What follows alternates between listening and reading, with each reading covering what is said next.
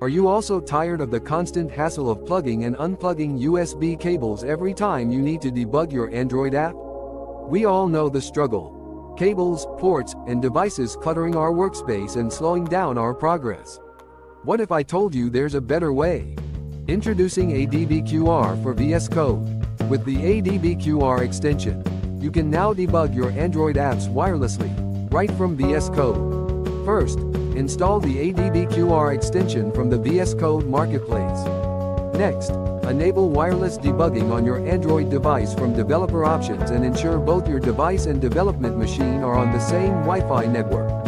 Open the command palette in VS Code using Ctrl-Shift-P and run the command ADBQR. Connect with QR code to generate a QR code. Using your Android device, scan the QR code to pair it with your development machine. No more cables, no more hassle, just a smooth, efficient debugging process. Enjoy mobility and flexibility without the constraints of USB cables.